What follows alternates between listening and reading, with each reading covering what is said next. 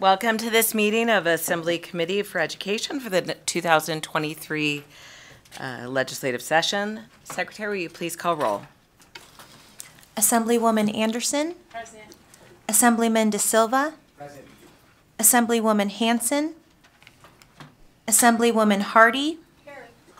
Assemblyman Koenig. Assemblywoman LaRue Hatch. Assemblyman McArthur. Assemblywoman Mosca. Assemblywoman Taylor. Present. Assemblywoman Thomas. Assemblywoman Torres. Here. Chair Bilbray Axelrod. Here. Please mark Assemblywoman Hansen excused. I believe she will be joining us um, after her meeting. Um, We do have a quorum. So welcome to the audience in Carson City. Nice to see you again. For those joining by video conference in Las Vegas, I don't see any yet, but we never know. And those listening or watching over the internet. Please make sure you silence your devices. I'm doing the same. If you wish to testify, please sign in the table by the door and provide a business card to the committee secretary.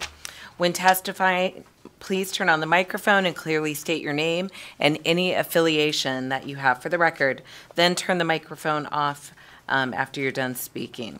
We do ask that you give 20 copies for members of the public. Electronic copies should be submitted to the committee manager by 1:30 PM yesterday. Uh, So we have it 24 hours in advance. Um, We expect courtesy and respect in our interactions during this meeting. And please note that our committee members may be uh, looking at their laptops or devices during um, the meeting. Don't take that as um, any sort of form of disrespect. It's just where we have our documents. Um, We've also been asked to um, reiterate the fact that um, if you do have a presentation, don't put any photos in there unless you own those photos and have a clear copyright to them or logos. So just keep it clean so we don't have any issues uh, going forward about what we can upload to NELIS because we want everyone to be able to see what we can see. Um, just so there's lots of transparency and daylight and not any sort of uh, appearance of anything that um, is not above board. So today we're going to hear two bills. So exciting stuff for Assembly education Assembly Bill 42 and Assembly Bill 54. Um, I will open the hearing on AB 42. This measure revises provisions relating to class sizes. To present this measure, we have Jhone Ebert, State Superintendent of Public Instruction, and Megan Peterson, Deputy Superintendent, Student Investment. And please go ahead, when ready, are you going to start with amendments? Please go ahead. Thank you, uh, Madam Chair, Bilbray Axelrod, Vice Chair Taylor, members of the committee. Uh, We were going to go ahead and incorporate the amendments uh, to what we're presenting today, uh, instead of treating them as separate. Would you prefer we treat them separate? No, that is fine. Just, um, I want everyone to know, um, and this, especially for the folks who are watching online, um, that you might pull up the bill, but you want to make sure you pull up that amendment too, because they're going hand in hand. It is, uh, what we refer to as a friendly amendment, because it was made from the department that is bringing the bill. Thanks. Thank you, Madam Chair. Uh, Once again, State Superintendent Jhone Ebert, for the record, we are presenting Assembly Bill 42 to you this morning. The Nevada Department of Education, as noted, submitted a friendly amendment to, and I'll be speaking to it as amended. So our studies on class size in the state of Nevada have been going on since 1979 with class size legislation first introduced in Nevada in 1989. Over the last 34 years, Nevada has iterated multiple policies related to class size reduction, and AB 42 speaks to respond to the changing face of our state. AB 42 expands class size reduction to include charter school and university schools for the family gifted for reporting purposes. Reporting has historically applied only to school districts. However, over time, we've seen rapid growth within our charter schools. They currently have about 12.5% of our students within our state. If you add the additional 2.5 uh, charter school students that are authorized uh, with individual school districts, that makes up about 15% of our student population at this point in time. And so with that trend, the increase in enrollment, we want to make sure that we capture the data on class sizes within all of those schools, um, as well as our public schools. AB 42 seeks to center high-quality data collection to support future policy and utilize the class size reduction reporting by ensuring that the data sets are holistic, meaningful, and representative of our state. As heard from school districts and discussed by the, at the State Board of Education, class size reduction is regu- regularly a source of frustration as ratios are difficult to meet with educator shortages, funding limitations, and restrictions related to the ability to build new school buildings and add classrooms in our rural areas. So section seven, as amended, as the chair noted, continues the use of alternative pupil ratios for school districts who pop, whose population are less than 100,000 students. To align with research and current trends in state education policy across the United States while responding to school district um, notes, as I noted earlier, Nevada's current cli- class size ratios um, continue to be a challenge. And we want to make sure that when this reporting transpires, that we are taking action on the data. The state superintendent of public instruction in the law does have the authority uh, for sanctions and other um, pieces, as well as the state board of education. And so by normalizing and looking at the data differently, um, looking at the class size ratios in reporting from what currently is to the ones that we are recommending, and also adding in English language arts and mathematics. Uh, we believe that we'll have a clearer picture of what is transpiring across our state.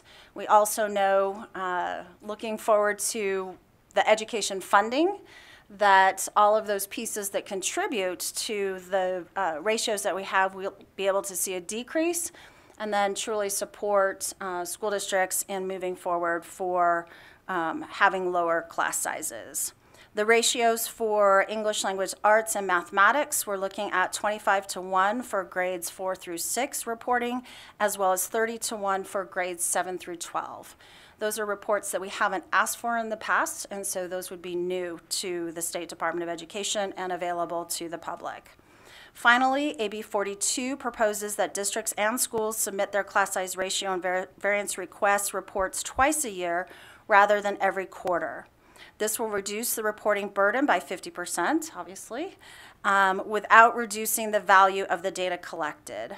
Additionally, Section 5, as amended, requires the names of the schools within the school district, charter school, university school for profoundly gifted pupils that are requesting the class size variance.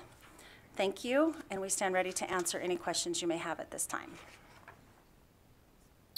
Thank you very much. I will first go to Assemblywoman Torres.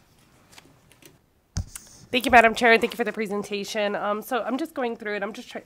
Uh, so I have a couple questions first about the the the process for the variance uh, because I don't know that I've been briefed any, anytime recently on what that looks like. So can you one kind of just describe what that variance process looks like, and then like also explain whether or not the NDE has ever denied a variance and what that would look like, why it might be denied, and why they're approved.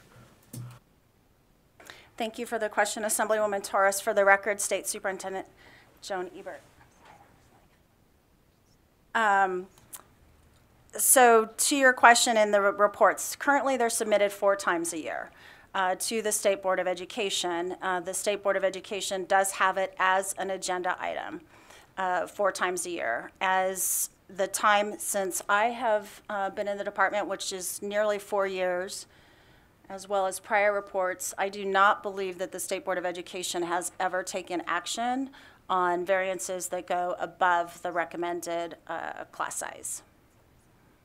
Now, to, to the why and what could they do, uh, again, speaking to the time that I've been here, we had the pandemic, for one. It was very difficult to look at um, class sizes and what was transpiring in our schools when uh, students were either every other day or they weren't um, in session. Um, also, too, knowing the uh, teacher educator crisis that we've had um, most recently and continuing, um, the state board has looked at how do we first support school districts in making sure uh, that they have the resources that they need to drive those class sizes down. Um, I think with the uh, funding that is coming in this legislative session um, that you all will be voting on, uh, those types of reasonings, because there's four reasons why they may um, place on the report. It is funding is one. They do not have the funding to support the staffing. They do not have a qualified teacher.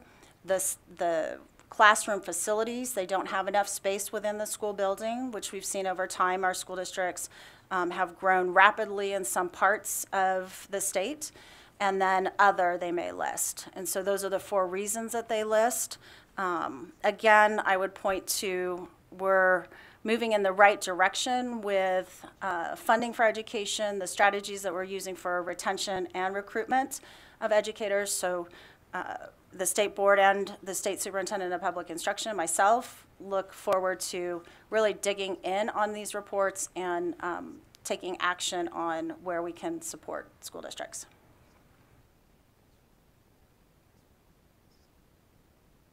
Yes. Thank you, thank you, Madam Chair. Uh, and so I guess I, uh, I guess like, has there? I, I don't remember when this law went into effect. Um, uh, if legal counsel could help me find that, but if you could, uh, like, if you could explain then, like, if though a school was denied, like what supports has NDE provided historically to schools so that it doesn't happen? Because I think we know the reason class sizes are large, right? I mean, I think it's those three indicators, right? It's a lack of funding, it's the number of teachers, we don't have enough licensed professionals available, uh, and it's a, a lack of facilities. So like we know that those are the issues. So whether or not I send you the report or not, we know that those are the three reasons why we don't have um, why we, our class sizes are so large. So I'm just like wondering what supports NDE is providing. Like, has there been a time where the NDE is seeing like, oh, okay, like this school district has thousands in some cases thousands of class sizes that are significantly larger than they should be. Um, and so these are the supports we're providing because I, I feel like this is just almost creating unnecessary reporting for schools without like actually providing the support necessary, like teeth for them, for there to actually be smaller class sizes. Thank you for the question. Superintendent Ebert, for the record, uh, those components that I noted, especially the teacher pipeline, we've been involved in. Um, I will tell you, we not, have not been involved in construction projects or bonding, you know, at the district level, but are definitely supportive of those um, pieces. What I would say in what types of actions in the future that the uh, State Board of Education uh, may take is looking, drilling in specifically at those numbers, looking at how zoning is done within a school district, um, where those students are attending, all of those pieces that can contribute to uh, over class sizes that are um, larger than expected. Thank you. Um, raise your hand if you have a question, just so I can get an idea. Okay. Um, I'm going to go next to Assemblywoman Anderson, who I have to, she gets the gold star for uh, writing all her questions and submitting them, but um, she actually raised several good questions, and so even though we, we, I have the answer, we have the answer, but I'd like to get them on the record. So, um, she, you could just confirm it and have the superintendent confirm Great. if you'd like? Okay. Well, first of all, I get to confirm the fact that I have a gold star. so that's really the important thing. Um, so thank you so much for the quick reply, uh, um, Ms. Broughton. You, you, I, I believe you guys replied right away to it, and I am that person that like is like, well, what about, what about? So I greatly appreciate the amount of information that you gave me.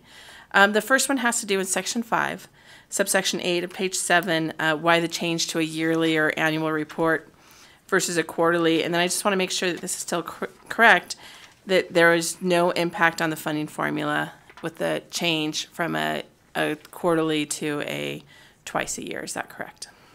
Superintendent Ebert, for the record, yes, that is correct. And the main reason for the change again was? Thank you. Um, Prior to the pupil-centered funding plan being put into place, we had categorical funds for class size reduction. Those categorical funds were grouped into the pupil-centered funding plan to allow school districts more flexibility. And so that categorical fund is now in the pupil-centered funding plan. Great, um, thank you. And then the other thing is with, um, and again, that happens again, one other area of the bill, I think it's eight point one point two B. Um, With the removal of the communication of the Board of Trustees, which I believe is on page ten, why was that decision made of, um, removing the communication with the Board of Trustees for each school district with the minimum number of teachers, uh, with the expectation to employ it? um, because I, I feel like that's kind of an important thing for the school district to know what the state is expecting. Superintendent Ebert, for the record, so this information on pa- page 10 is included in, my apologies. You're on page 10. I was looking at another question that you had asked. I apologize. Which I only asked are- like 15, it's all good. I'm Um, ready for the other answer. Oh, oh, oh, good. Um, it's on page 10. Let me see if I can find it as well. I believe it's on page 10 of the original bill that has to do around lines of 15, oh, wait, no. 35. I meant 35, 15 times 2 plus 5. So, yeah. Um, It has to do with lines 35.3 where it says communicate with the Board of Trustees of each school district regarding the expectation of the department. Uh, So why was the decision made to remove that language? Right, that also is with the um, categorical funds for class size reduction. That report was required, and since we no longer have those categorical funds, we removed that report, that requirement.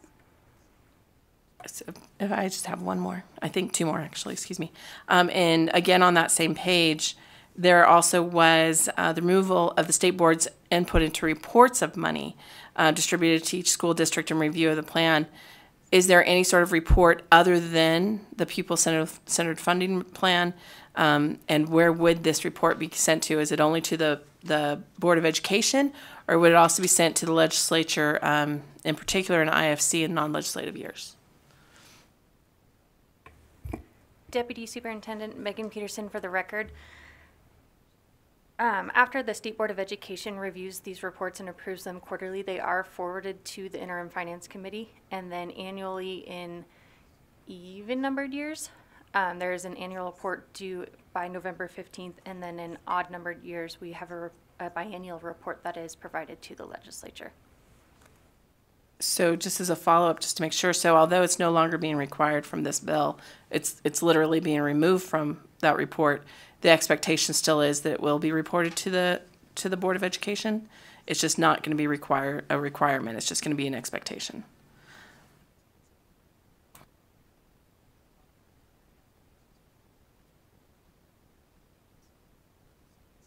Superintendent Ebert, for the record, um, we have been uh, providing those reports, and the way that it is written right now, we would not be required to, but we continue to provide transparency as one of our goals to make sure that everyone does have the information they need to make decisions. Thank you, and um, I, I understand that, and I, I appreciate the fact that your, that your leadership, you do that. However, if, if we've got to have it in law, there's a reason why it feels like. Um, The last one has to do with, why is the removal of this information on the website? Uh, Because with this, ver- it's on page 11, I believe it is, um, uh, the, oh, I thought it was on, oh, there it is, and under 11B, or no, I, I thought I, I might have put that in the wrong side. But I remember that there was language about removing this information being present on the website. Um, and it sounds like it's just gonna be part of another area. However, if it's on the website, it should be very clearly stated. So just wondering why, why the removal of the information on the website. Thank you. Uh, Superintendent Ebert, for the record, this information is also in the Nevada report card, which is um, available on the internet, and so we felt that it was duplicative in nature. Uh, So again, a lot of the things that the department is presenting this session are to streamline, create efficiencies, but still maintain the transparency. So this information will be available, um, it's just not in two places. Thank you, Chair. And just to verify, the Nevada report card, is that legislated as well, or is that under regulations? Superintendent Ebert, for the record, yes, that is legislative. We must have all that information posted annually uh, to the public. Thank you, Chair, for that much time. Thank you for uh, going above and beyond. I guess those Northern Nevada kids aren't so bad after all. Um, Next, we will go to Assemblywoman LaRue Hatch. Thank you, Chair, and thank you for being here to present today. So my question, uh, obviously, is around class size. That's what all of this is around. But you mentioned that the pandemic played a role in why all of the variances uh, were being approved. But we know we've had the largest class sizes in the nation for some time, and that predates the pandemic. We know the State Board of Ed has never denied a variance for uh, a large class size. And so my question is what in this bill actually guarantees that all that money that you're talking about coming to improve class size is actually going to get to the classrooms and is actually going to reduce the class sizes? Because as it looks, it seems that there's a whole lot of paperwork and a whole lot of tracking to just write down on paper that we have large class sizes. And so I'd like to know a little bit more about the enforcement. Superintendent Ebert, for the record, thank you, um, Assemblywoman uh, LaRue Hatch. If I understood the first part of your question correctly, as far as how does the State Department of Education, with the uh, funding that translates to the school districts, um, drives those class sizes, one of the key components of the pupil-centered funding plan is to create that flexibility. So initially, when the dollars flow to the school districts, those are determinations that are made locally. Um, whether it is uh, compensation, class size, all of those things that are, are decisions that school boards of trustees, the superintendent, the community weigh in on to make those um, very um, uh, difficult decisions on behalf of children. Uh, again, what I would point to is is we are in an unprecedented moment in time. Uh, you know, having conversations that we never thought we'd have with a uh, education savings account that is 15%, completely 100% funded at this moment in the proposal. Um, we truly believe that it is everyone's intent to get to those numbers. Um, but as we know, triple Fs in all of the reports and funding, the crisis that we've had with hiring, those things over time and rather quickly we see changing, and uh, then the state board will come in and work with school districts, as and the example that I gave earlier. So then my follow-up question is if it is the intention of the school districts to lower class sizes and if as you say the pupil centered funding plan is supposed to be locally based then why do we have a statewide standard at all? Why would we not just set it as a local decision? Superintendent Ebert, for the record, the research based on what optimal class sizes are or what have been um, put in place for this legislature has asked the State Board of Education to put those numbers in place and on the record um, based on research. And so we do know that those are best practices. Uh, we also, I, I guess I'll stop there. That's, yeah, thank you. Assemblywoman Hardy? Thank you, Chair. Um, I don't know whether to look this way or this way, so I'll scoot over. um, so you went through it a little quickly. Um, if you could just, for clarification's sake, go through um, in this bill what the proposed class sizes are, because I, I know that you added like language arts and math grades, and then um, seven through 12 grades. Just for everyone's clarification, who may not know what they are currently. So what they are currently, what you added, and, and kind of what the differences are, if you would. Yes, thank you, Assemblywoman Hardy. So for the record, State Superintendent Jhone Ebert, um, currently, as prescribed, it's in NRS 388.701. Kindergarten is 16 to 1. What is proposed is 18 to 1. In first grade, second grade, and third grade, excuse me, first grade and second grade, it's 16 to 1. And in third grade, it's 18, o- 18 to 1. What we're proposing for the variance request is 20 to 1 in 1 through 3. So grades 1, 2, and 3 all the same at 20 to 1. In uh, section 4 of the bill, page 5, where where we're adding the new, adding additional reporting, um, is in grades 4, 5, and 6, 25 to 1, and then 7 through 12, 30 to 1.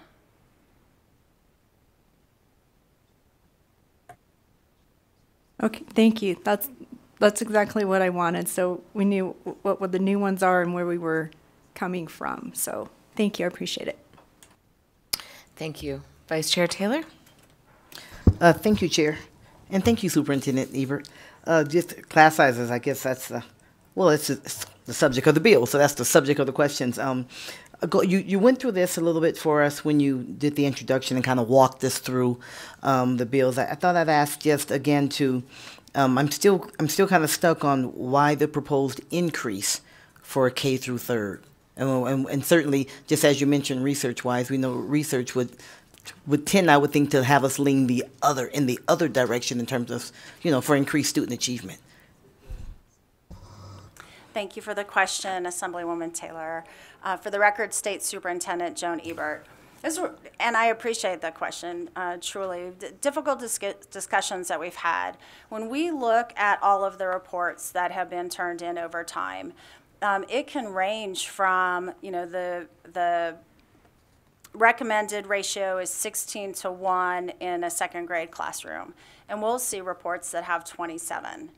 What we want to do is peel off those classrooms, if you will, that are between the 16 and 20 and keep them from um, the variance numbers and truly look at and dive deep in those numbers that are above the recommended uh, variance request, so the 20 to 1.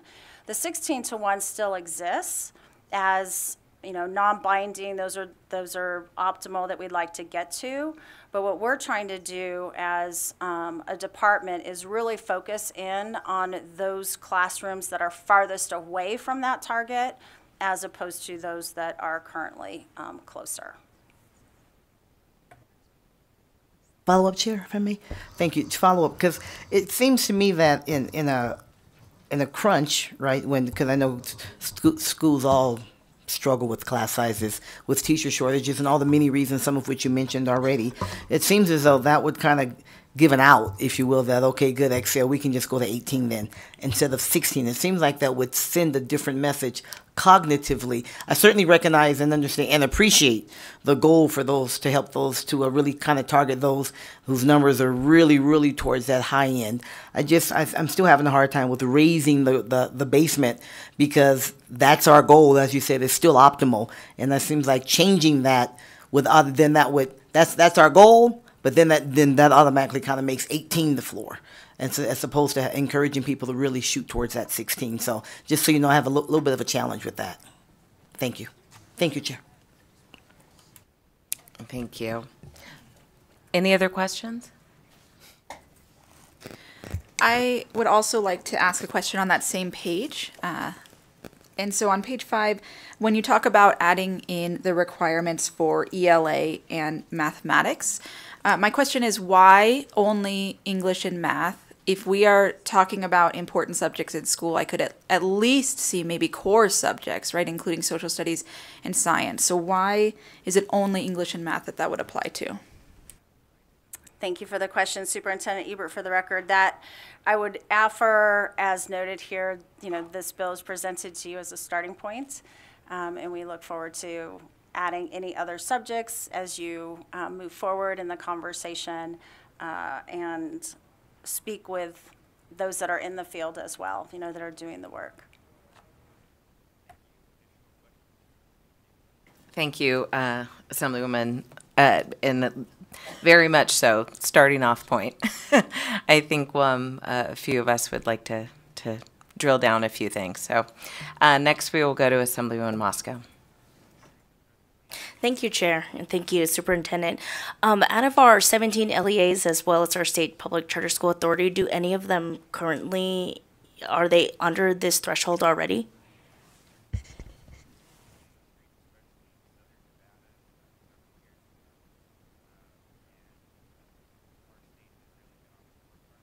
Superintendent Ebert, for the record, we would need to get back to you on exactly which school districts. Off the top of our head, we believe that Esmeralda is the only one that is not currently submitting um, any classrooms for variance. But we will get the specifics um, to you. Thank you, Superintendent. Actually, yeah, if you could let us know by district how many um, variants you're seeing. Um, If you're denying any of them, would like to know that, that number as well, and get that to our committee, and I will distribute it. Okay, thank you. Other questions, committee? Okay. All right, so with that, um, we will open it up to testimony. I don't have my script, that's right, right? So we will say, uh, those of you out there who are testifying in support. Oh, I think you guys all know how to testify at this point, but, um, if you are testifying in support, you are testifying, okay, we're gonna make a little bit of a clarification. You are testifying in support of the bill with the friendly amendment. We have not addressed the second amendment that was submitted just recently on NELIS. So you can look at the one that was submitted by the Department of Education and be in support of the bill. So anyone in support? I said all that for nothing. I don't see anyone rushing up to the table. I don't see anyone in Las Vegas. BPS, is there anyone on the phone line in support?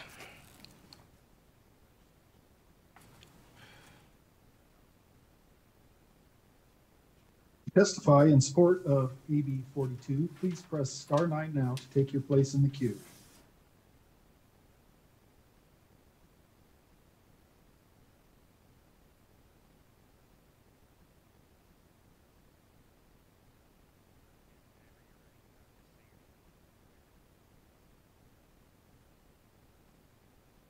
Again, to testify in support of AB 42, please press star nine now to take your place in the queue.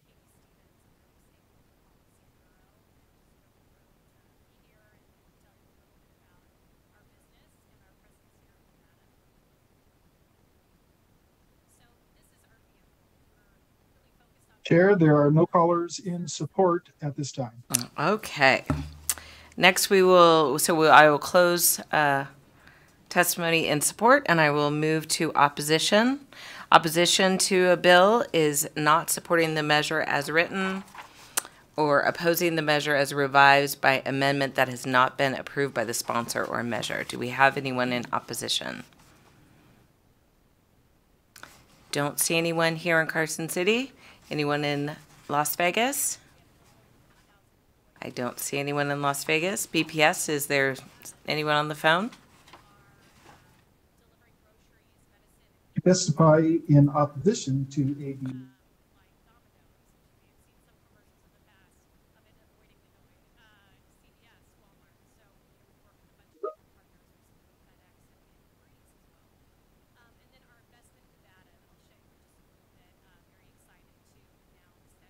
Thank you, Madam Chair. For the record, my name is Marie Neisess, M-A-R-I-E-N-E-I-S-E-S-S.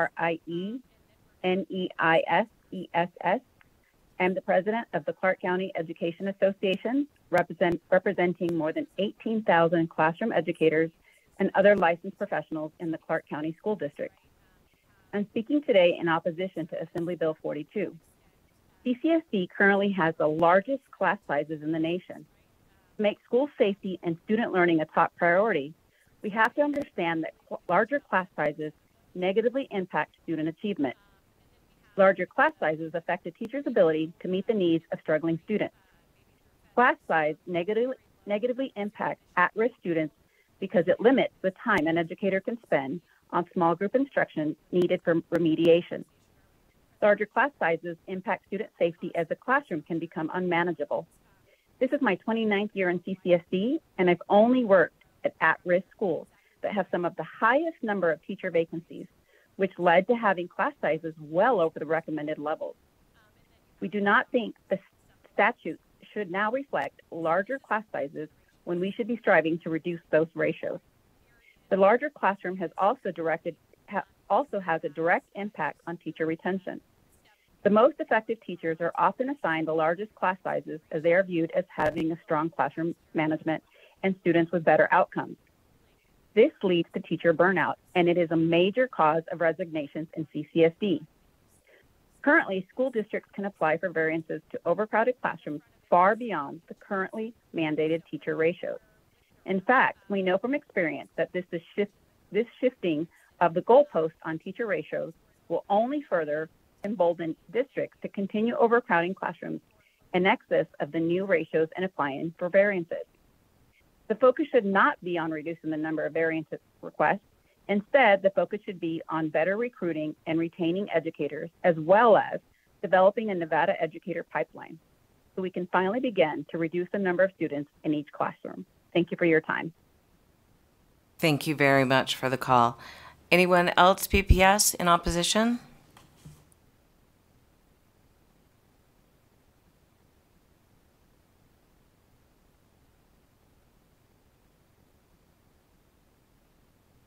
BPS? This is, this is Lisa Guzman. I am the Assistant Executive Director for NSEA. I am not speaking as a CCSD trustee. I am speaking as a representative of the Nevada State Education Association, and I am in opposition to AB 469. The Nevada State Education Association has been the voice of Nevada educators for over 120 years. NSEA seeks amendments to AB 442 related to pupil teacher ratios to move Nevada towards an average class size of 20 students. Common sense tells us, and research confirms that the number of students in a class makes a real difference for students and educators alike. We know reducing class size has real benefits. For students, smaller class size can close the racial achievement gap, lead to earlier identification of learning disabilities, improve high school graduation rates, improve student behavior, and allow for more engagement in lessons. For educators, small class size improves educator morale as it allows for more individual and differentiated instruction, less time on paperwork, and stronger classroom management as teachers become more aware of individual students' strengths or weaknesses. Smaller class size also means safer schools. This is why NSEA includes reaching average class size of 20 students in our marquee Time for 20 campaign. Another provision of Time for 20 to increase educator pay would increase the pool of qualified teachers applying for open teaching positions, which is necessary to reduce class size. While there are certainly important provisions in AB 42, including making pupil teacher ratios applicable to charter schools NSEA disagrees with increasing the maximum ratio in grade K3. With some of the largest class sizes in the nation, Nevada should be doing everything possible to reduce class sizes across all grade levels.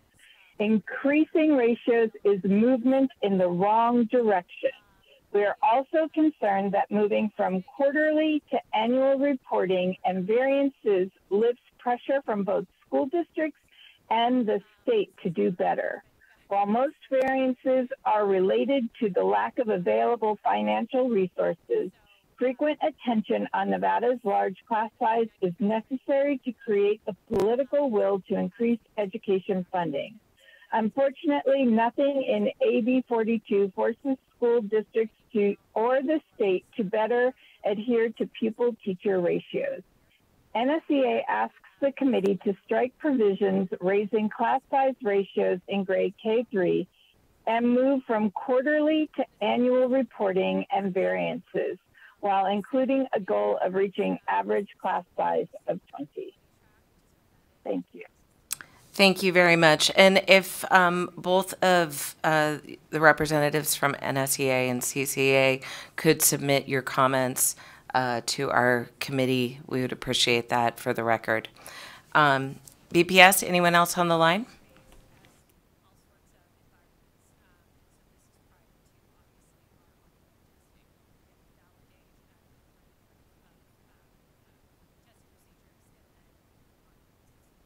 Hello, Marcos Lopez for the record, Nevada Policy Research Institute. Uh, we want to start by saying kudos for NDE for first improving the bill with their amendment. However, we must remain in opposition due to two reasons. First, the burdening of charter schools and university schools with unfunded mandates and regulations, as well as the entire concept of classroom size mandates. There's a growing research, uh, a body of research on the national level that is showing that this is the least cost effective means for improving student performance and that any gains are very small. In fact, the left Ameri- Center for American Progress has also noted that the most important uh, determinant for teacher quality, uh, for student gains, is teacher quality, and that investing less in classroom size reduction would free up resources that could be used to recruit and retain highly effective teachers. Nevada policy agrees with this and also points out that using these funds for greater uh, teacher recruitment means that a student will likely meet and see and receive instruction from a more effective teacher. Um, we encourage future hearings to consider classroom size mandates elimination as well as the recognition of out-of-state teaching licenses. Thank you. Thank you very much. BPS, are there any more callers in opposition? We are on opposition to Bill AB 42. If you have just recently joined the call and would like to testify in opposition, please press star nine now to take your place in the queue.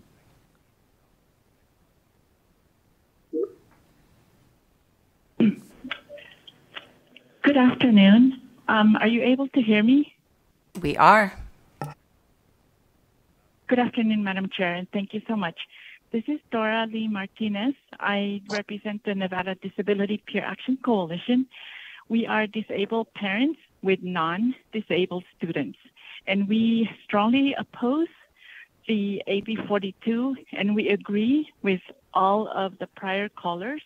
As a parent with a disability and having increased classes as they are already, it's been a struggle to um, try and get in touch with teachers. And my daughter is having a hard time getting in touch with their teachers because there's 35 students and one teacher in their high school. So please let's do better. And thank you so much and have a great Valentine's Day. Thank you to you as well. BPS, anyone else in opposition?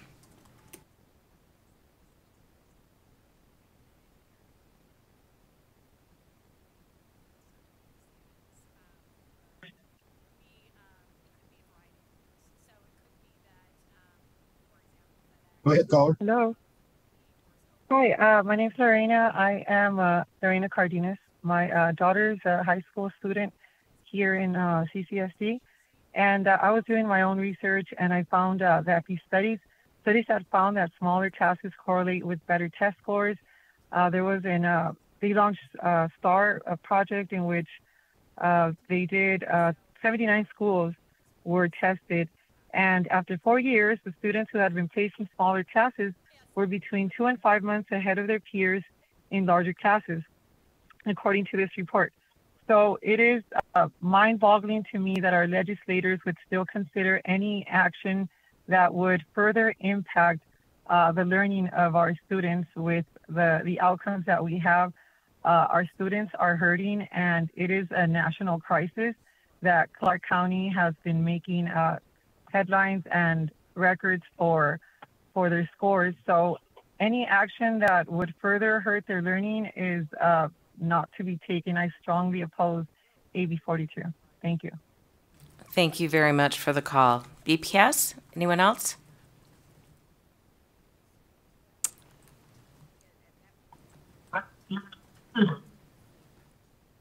Good afternoon. My name is Cyrus Hojati, C-Y-R-U-S-H-O-J-J-A-T-Y. I'm enjoying the snow out here in Las Vegas.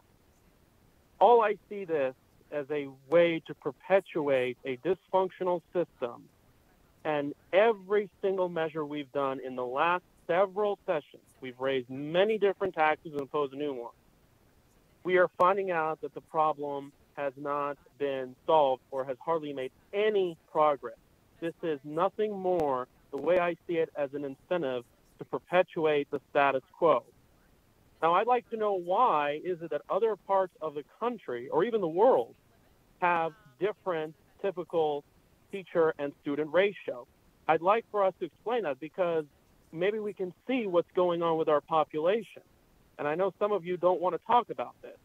Now, the question is, why is it that we have a teacher shortage? What could that be? Could it be because of the pay? Could it be because we pushed mandatory vaccines on teachers? And by the way, I still want to know whether these lockdowns and passports and jab mandates and everything have they really worked? Because it's been two and a half years or so. Okay, let's stick to the bill, okay? violence that's been- Well, it does affect it. And and uh, by the way, could it be because of the violence that's been going on? What is causing the teacher shortage? Now, I'll give you my experience. I was raised and I went to a high school, one of the highest ranking schools in South Orange County, California. And just one kid could really take down the entire classroom. They can ask questions in terms of how they are. And this is why increasing two or three students could drastically impact the entire classroom. All right, a 2% change, it can make a huge difference. So I urge you all to please vote no on this bill. And by the way, you kind of did prove my point even further. Thank you so much. Thank you very much. Next caller?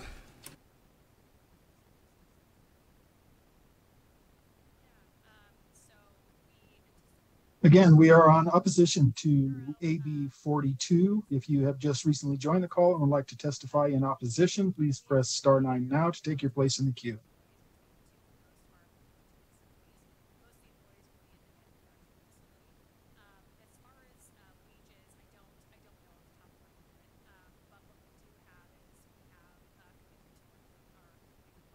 There, it seems there are no more callers in opposition at this time.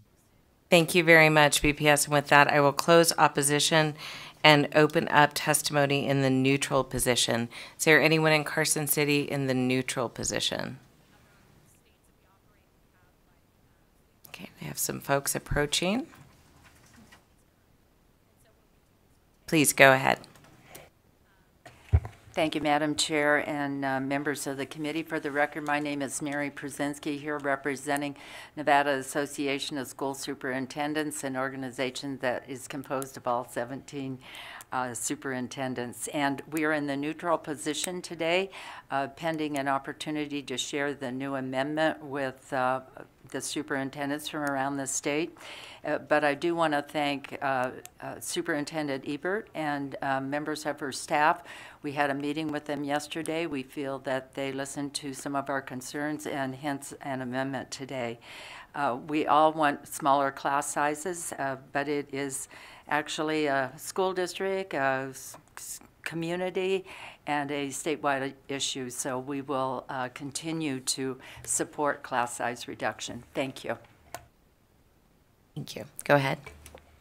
Thank you, Chairwoman and members of the committee. For the record, my name is Paige Barnes with the Frado Company here today on behalf of the Nevada Association of School Boards.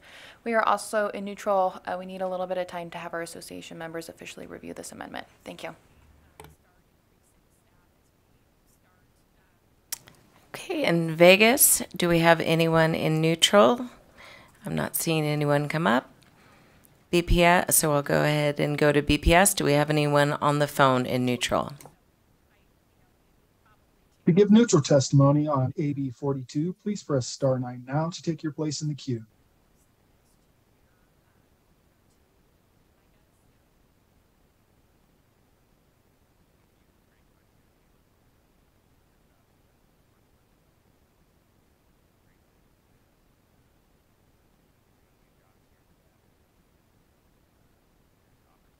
Chair, there are no callers in neutral at this time. Thank you very much. And with that, I will close the testimony in the neutral position. Um, Superintendent, did you want to come back up for any closing remarks or? Okay, with that, then I will close the hearing on AB 42, and I will now open the hearing on AB 54, so you do have to come back up. This measure makes various changes relating to education. Uh, To present this bill, we have, once again, Jhone Ebert, State Superintendent of Public Instruction. We have Megan Peterson, Deputy Superintendent of Student Investment, and Dwayne Young, Interim Deputy Superintendent of Student Achievement. Please go ahead when you're ready. Good afternoon. Thank you, Chair Bilbray Axelrod, Vice Chair Taylor, members of the Assembly Committee on Education. For the record, my name is Jhone Ebert, and I serve as the State Superintendent of Public Instruction. Uh, As we presented AB 42, we'll also present AB 54 in the same way. Uh, When we go through the bill, we'll talk about the specific amended components. Nevada law requires the annual reporting of both pupils who are eligible for and who receive free or reduced breakfasts, which are referred to FRB, or lunches, FRL. This data point has historically been used as a socioeconomic indicator in education data and as federal requirement. The Department of Education annually collects and reports pupils who are eligible for free and reduced price lunch each year on October 1st. Section 2 of AB 54 as amended eliminates the requirement to collect data around students who receive free and reduced price breakfast and lunch and to continue to collect data around those students are, that are eligible. And I've received a lot of questions in regard to, so I want to make sure to specifically clarify. Um, students that are eligible, we will still continue to report. Those that are receiving over time, um, two things. Number one, uh, the students that are receiving or that are taking advantage of the opportunity to participate varies from day to day. One day, um, students, a group of students may make a determination that they will participate and receive, actually receive the meal, and the next day they may not. Um, so that is not only a personal choice that is left with the student, but the variation over time is very hard to track uh, for our school districts. So they currently track um, the those that are eligible, and we will continue to track those that are eligible.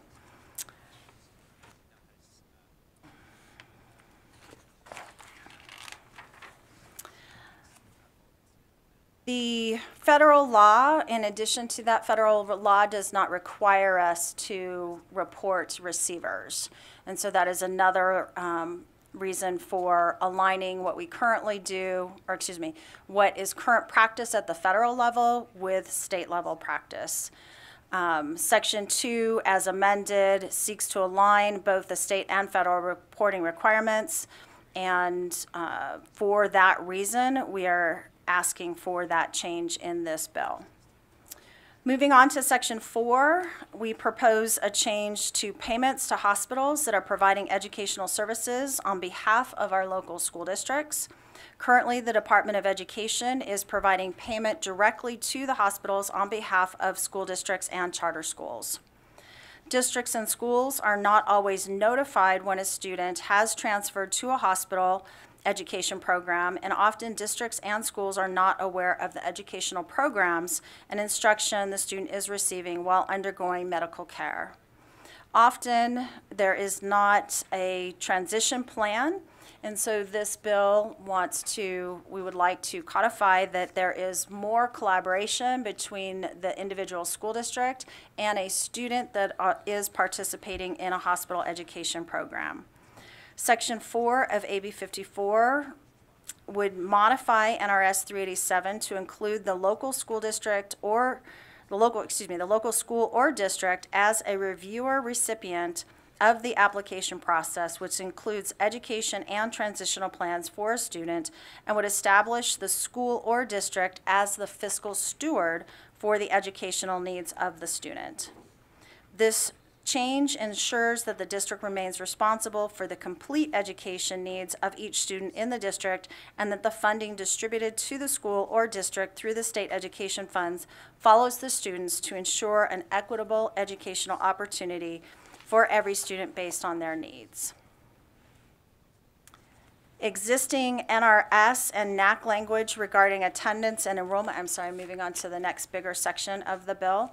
NRS and NAC language regarding the terms attendance and enrollment was written quite a long time ago and developed for a paper-based system. With the implementation of a statewide student information system eight years ago, these policies were made obsolete. The inconsistent use of terms of attendance and enrollment in NRS and NAC has caused, caused a great deal of confusion throughout Nevada school districts. At the request of our partners, the school districts, um, looking at those discrepancies, creating consistency across the language will help us be able to make sure that we can take actionable steps on the information that is provided us. The work group that engaged with, uh, that we had with these conversations around these measures, um, including our Nevada School Performance Framework and chronic absenteeism. We had our department staff. We also had staff of the school districts, as well as um, accountability staff from the school districts.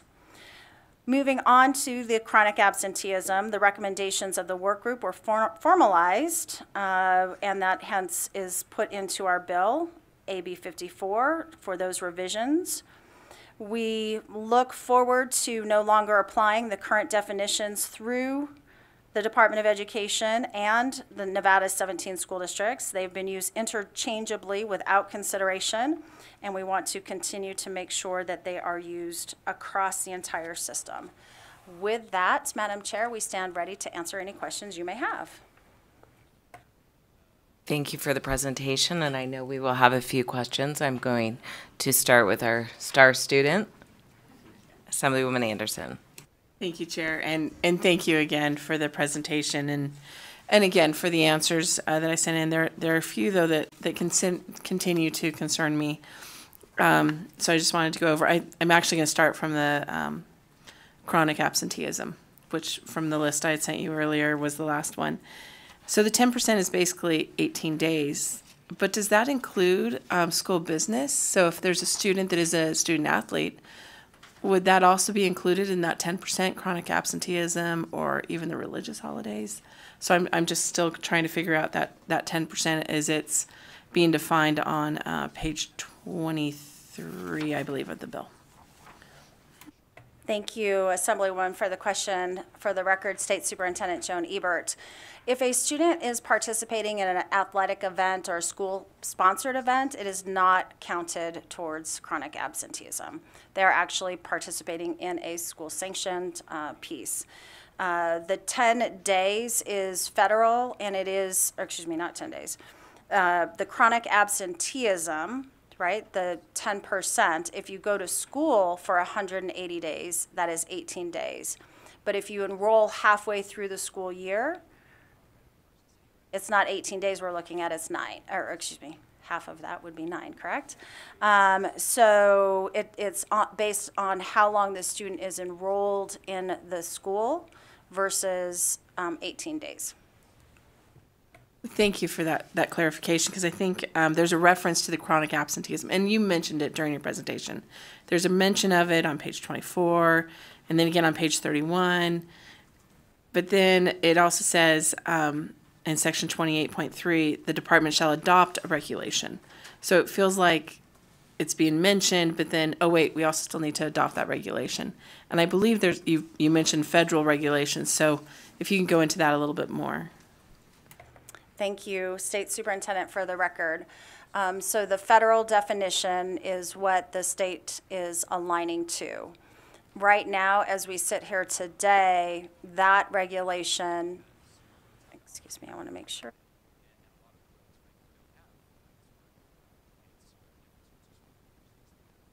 Superintendent Ebert, for the record, I would like to have Peter Zutz, who oversees that area, um, give you the specific details.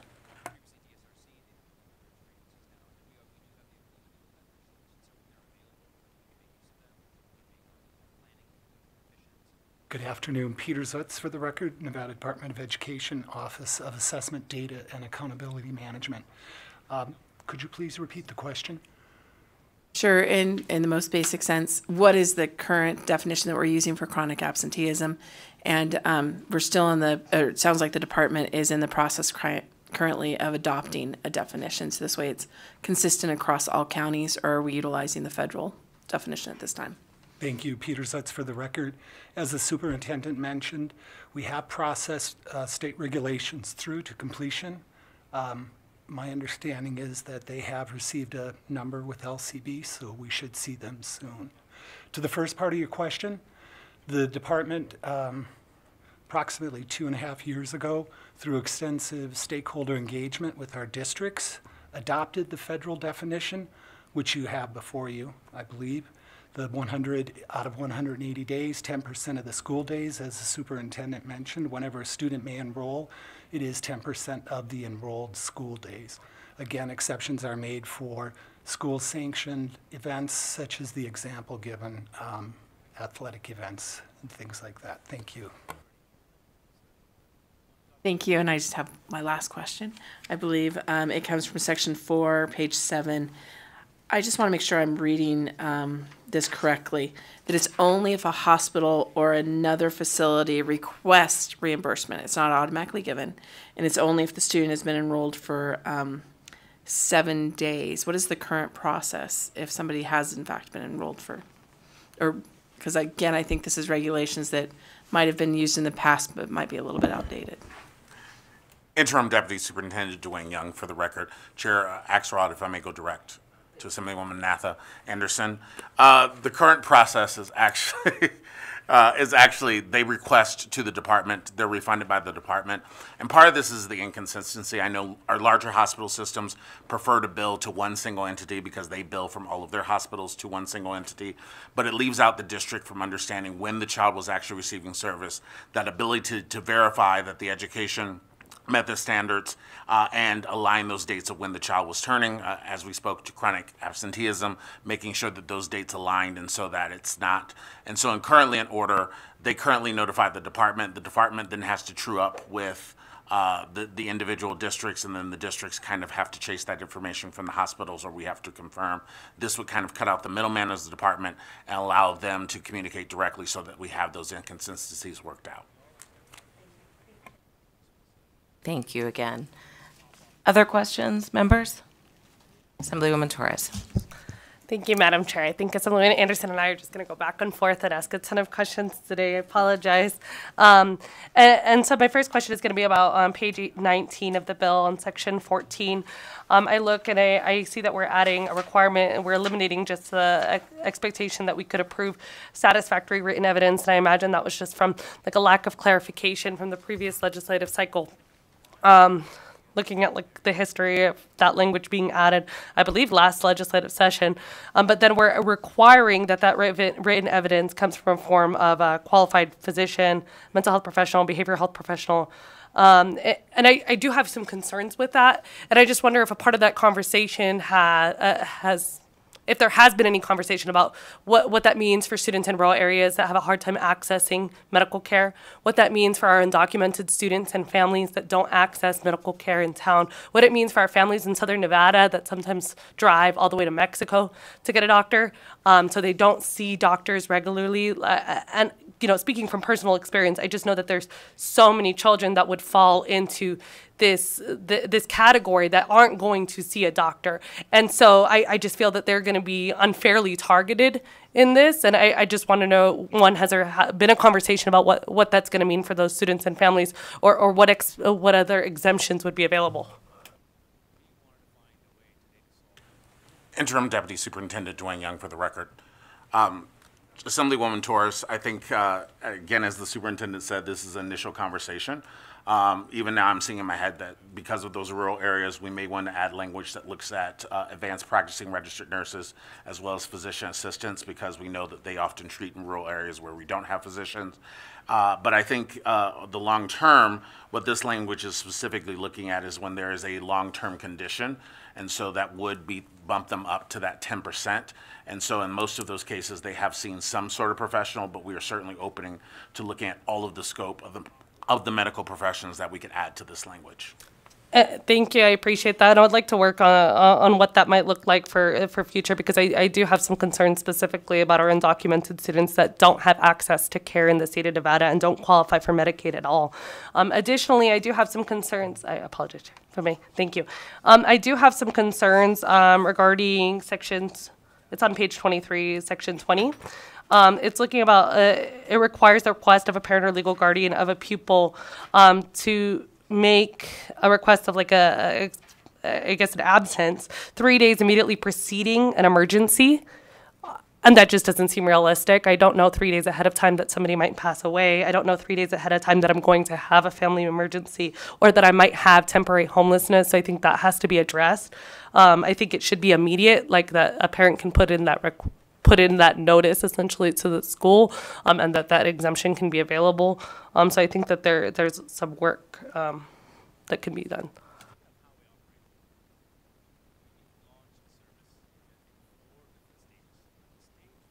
Th- Thank you, Assemblywoman. Um, uh, The way I'm reading that, and maybe, I think the rest of the, the paragraph actually does deal with that, family emergency, temporary homelessness, right?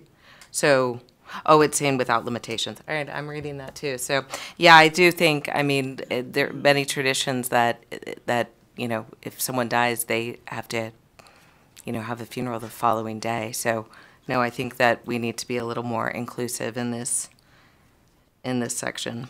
So thank you for bringing that up. I read it differently. Thank you. Gotta get back into practice. We have other questions, uh, Vice Chair Taylor. Thank you, Chair. And thank you again for the presentation.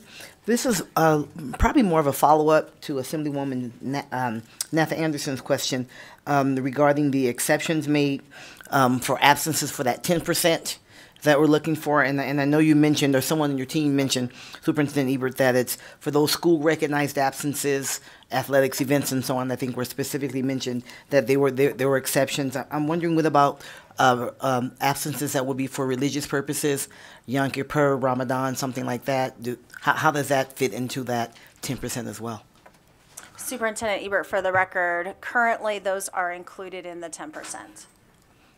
Okay, so if, if a student, just for, if I may clarify, thank you, Chair. So if a student is absent for religious reasons, that could count against that number then? Superintendent Ebert, for the record, the um, federal definition and the definition that we've adopted, there's no distinguishing between any type of absence from the classroom. So whether you're out ill, whether you went with your family on vacation, um, the example that you just gave, all of those things are counted as absences. Okay, if, if I may, but there are exceptions because there are athletics events and performances and so on, so those are exceptions then? Excuse me, yes. Um, Superintendent Ebert, for the record, those are school-sanctioned events. Okay. School-sanctioned events do not, are not included in the 10%. Okay, so that, that is exception, school sanctions events. I, I would just, just to, to state that, I would think we wouldn't wa- want to uh, penalize a student for a religious absence in, in a way. So that's just, we just wanted to say that. So that's a concern I think we want to consider. So thank you. Appreciate Thank you, the clarity. Vice Chair, and if I, that is a, a federal regulation, correct? Um, Superintendent Ebert, for the record, the chronic absenteeism that has, that we are following and recommending is the federal definition, so- correct? Okay. Gotcha. Um, Assemblywoman Thomas.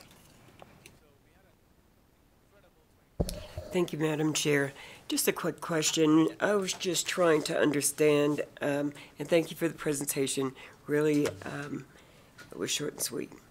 Um, but I wanted to understand the free and reduced price lunches. I'm not um, understanding the tracking process um, because I, I, I'm, I'm thinking that maybe some parents um, feel like the data is being collected and used against them. So um, I was wondering if that's, um does that play into uh, this bill here? Superintendent Ebert, for the record, um, what this bill that we're looking at right now and is looking at specifically those students that are eligible for free and reduced lunch, and those students that receive free and reduced lunch, that actually partake in the opportunity, they're eligible. So to your question specifically, the, um, it does not address, um, uh, parents that may be concerned about the information that they're providing. We're just looking at students that, um, are eligible for free and reduced lunch. We still want to collect that information, um, and, uh, relieve the burden of those, counting those that are partaking, receiving the free and reduced lunch. Thank you so much. I appreciate it. Other questions, members? Okay, all right. Thank you very much, and with that, we will um, open up the testimony and support.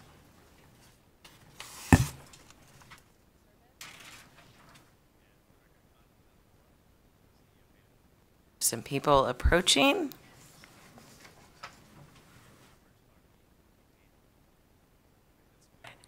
Good afternoon again, Madam Chair and members of the committee. For the record, uh, my name is Mary Pierczynski, representing Nevada Association of School Superintendents, uh, an organization composed of all 17 school district superintendents. And we're here in support of the bill and appreciate the changes that the uh, State Department has uh, brought forward in this bill. Thank you.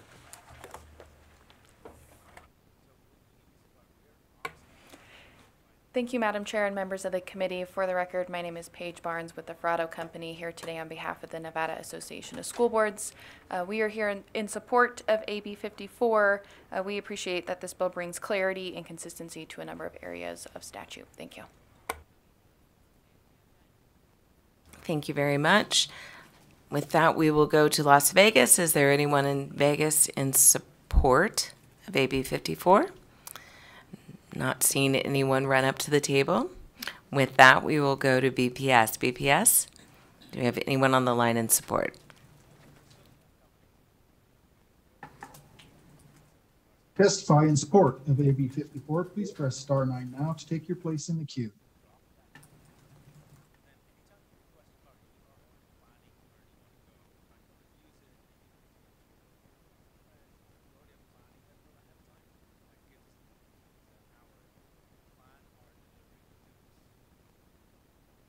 Here it seems we have no callers who want to testify in support of AB 54. Thank you very much, BPS. And with that, we will close testimony in support and move on to opposition.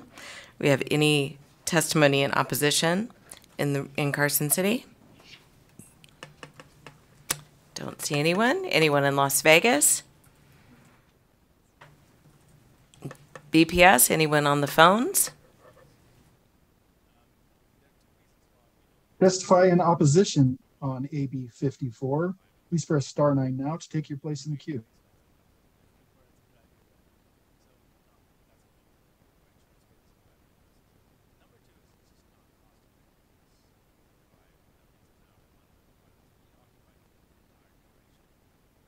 Go ahead, caller. Hi, my name. Thank you. My name is Darlene Anderson. I'm calling here from Henderson.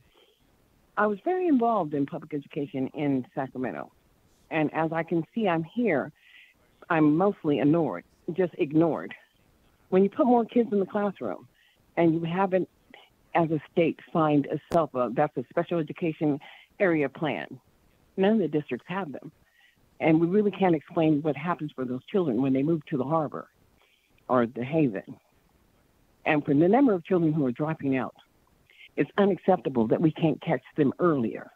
And so, unless the Department of Education is going to come to the table with some real data, I'm going to have a real problem this year watching you people as you just listen to the stories with no data, and it's unacceptable. So, thank you so much for allowing me to speak. Have a blessed day.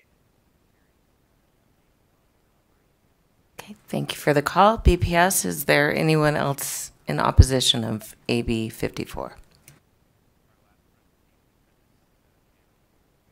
We are on opposition to AB 54. If you've just recently joined the call and would like to testify in opposition, please press star nine now to take your place in the queue.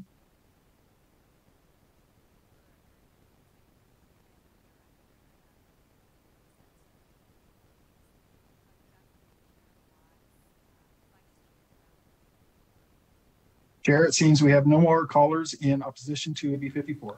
Thank you. And with that, I will close testimony in opposition and move on to neutral. Is there anyone here in Carson City in the neutral position, AB 54? Not seeing anyone. Anyone in Las Vegas? Not seeing anyone. Uh, BPS, anyone on the phones? To give neutral testimony on AB 54, please press star nine now to take your place in the queue.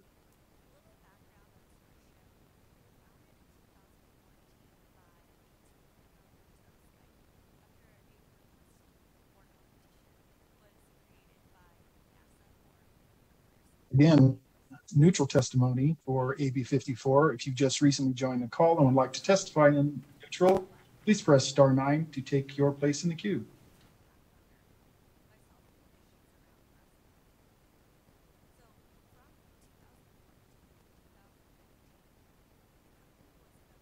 Chair, it seems we have no callers uh, wanting to testify in neutral.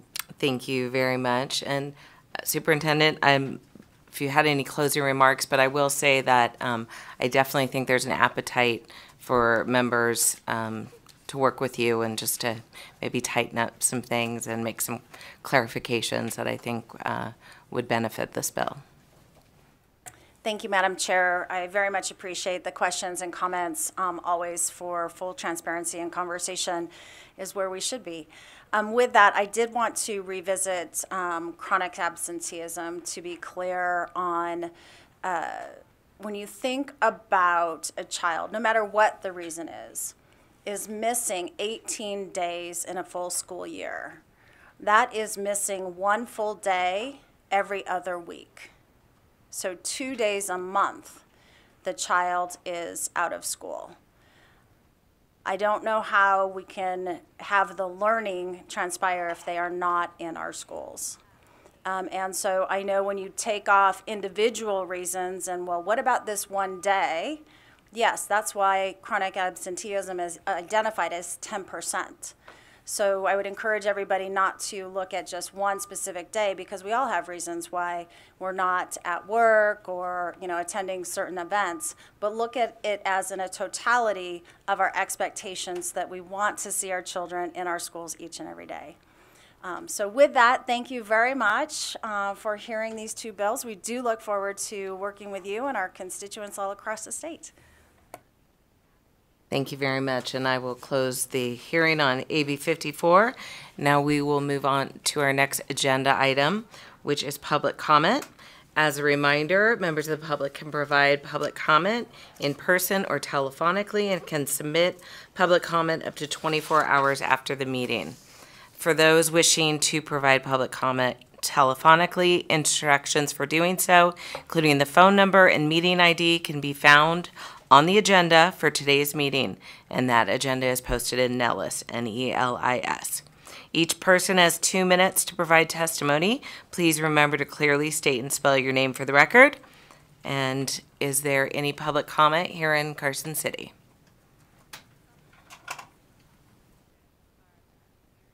You guys all have big Valentine's Day dates, huh? You're gonna get out of here? Anything, any uh, public comment in Las Vegas?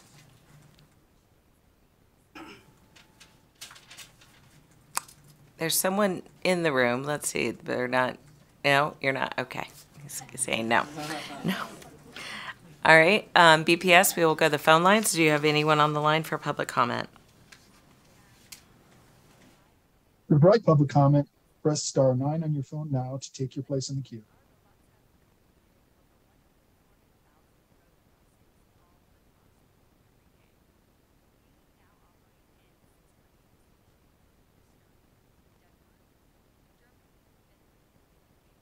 Again, to provide public comment, please press star nine on your phone now to take your place in the queue.